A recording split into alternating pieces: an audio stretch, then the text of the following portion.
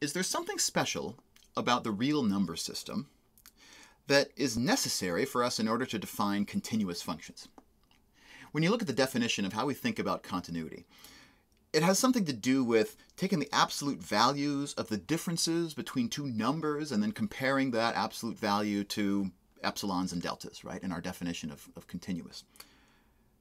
Is there a way for us to talk about continuity that doesn't make reference to those really special things like absolute values, which in more general settings, we might not even know what absolute value is supposed to mean if we're not looking in the real numbers.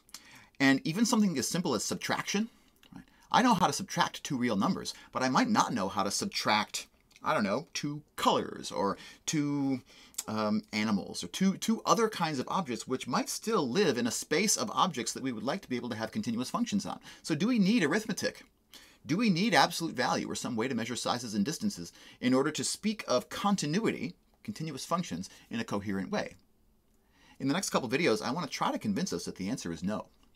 That continuity is not something that requires arithmetic, or even requires us to, to know sort of how to measure distances. Right? Continuity is a topological property. We should be able to define what it means for a function to be continuous just by defining what we mean for sets to be open sets. This video is going to be the first step in that process. I want to look at our definition of continuous functions on the real numbers and reformulate it out of the real number context into something that's going to get us into sets instead of into real numbers. So what do I mean by that? So we'll start by just taking a critical look at our definition of what it means for a function to be continuous at a point.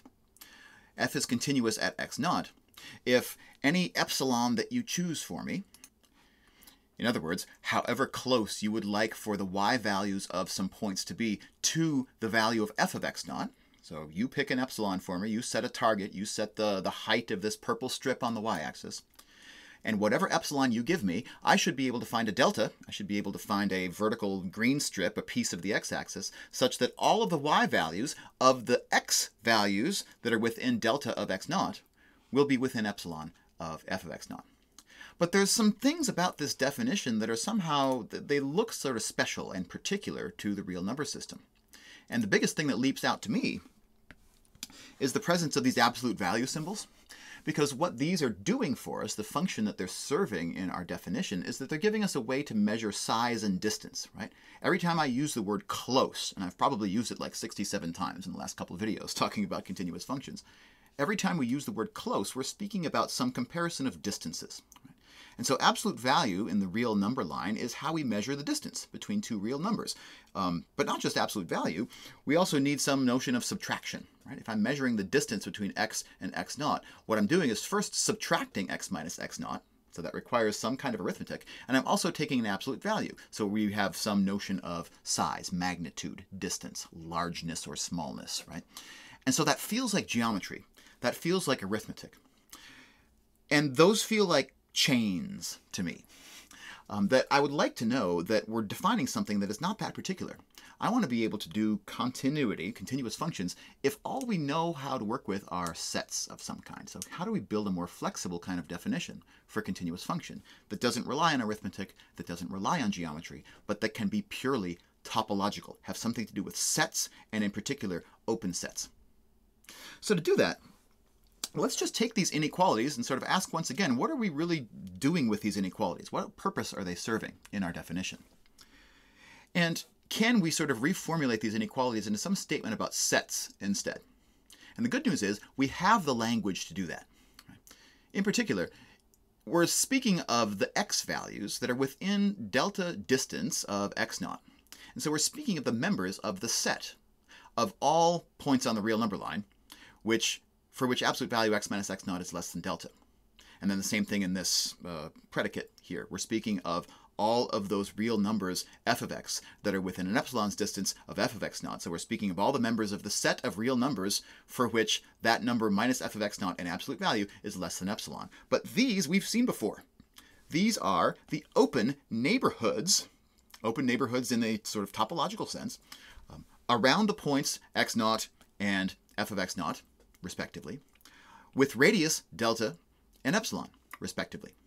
So when we use these inequalities, what we're really speaking about is we're speaking about the membership of x and respectively f of x in the open neighborhoods around x naught and f of x naught, respectively, whose radius is delta or epsilon, respectively.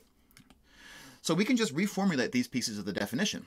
So that the new definition reads f is continuous at x naught if, for all epsilon, there is a delta, such that for all x in my set E, if x belongs to the delta ball around x naught, then f of x belongs to the epsilon ball around f of x naught. So now we've gotten the absolute values and the subtraction and the, we even got the sort of inequality signs here out of the mix, and we're sort of now just speaking about sets. And the good part about that is that if we change our definition at some point, if it's necessary for us to think more expansively about what are open neighborhoods, right? This definition can still be transported directly across. This definition becomes topological because if you tell me what the open neighborhoods are, the balls, right? Then I don't have to worry about these details. I'll just use this more general definition. The only other thing that I want to sort of bring across here is this if-then logic, because this also feels like it bears some relationship to sets. So it's saying if x belongs to the delta ball, then f of x should belong to this epsilon ball. And that if then feels like it ought to be some sort of a statement about subsets. And it can be if we just remember how we define images of sets and inverse images of sets. It's one of the first things that I like to talk about in first semester real analysis. It's just bringing back that language of what is the image of a set under a function, what is the inverse image of a set under a function. And so when we take all of that and we transport it into a definition, it ends up reading like f is continuous at x naught. If for all epsilon there exists a delta, such that anytime x belongs to the delta ball around x naught, so any point that's in this set, will also have the property that f of x belongs to the epsilon ball around f of x naught. And so to turn this green thing here into a statement about x instead of into a statement about f of x, we'll just remember what the inverse image of a set under a function is defined to be. The inverse image of a set is the set of all points in the domain for which f of x belongs to the set in question. And so if f of x belongs to the epsilon ball around f of x naught, that means that x belongs to the inverse image of this epsilon ball. So reading it from left to right, if x belongs to the delta ball around x naught, then x must belong to the inverse image of the epsilon ball around f of x naught. So we just sort of bump that f of x down here and it becomes an inverse image instead. So now it's saying if x belongs to this set, then x belongs to that set. And so that's why what we actually have is a subset relationship. So now I have a definition right here of what it means for a function to be continuous, and it only speaks about inverse images, which are purely a function and set theoretic idea, and it speaks of epsilon balls and delta balls, which we can define in various other ways besides the way that we've defined them in the real line with the standard topology, right? So what we get here is a new kind of definition that is going to be much easier to understand, much easier to recognize when we see it in other contexts as well.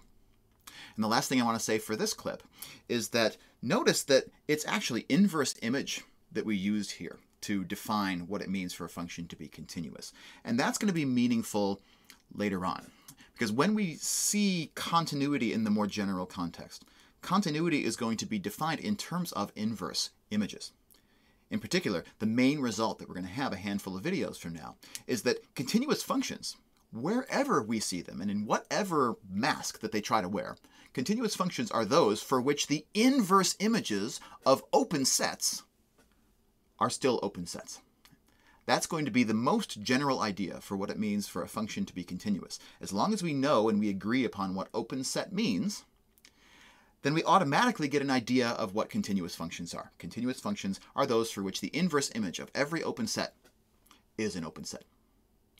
And so this is sort of the first clue to why it is that that's going to happen. Uh, where the role of open set here, the surrogates for open sets, are the open neighborhoods, the open delta ball around x naught and the open epsilon ball around f of x naught.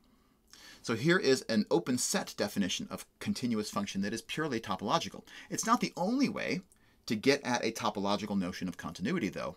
And the next video, we're going to see an even more flexible, maybe, uh, way to define what it means for a continuous function, not involving open sets, but involving sequences of points.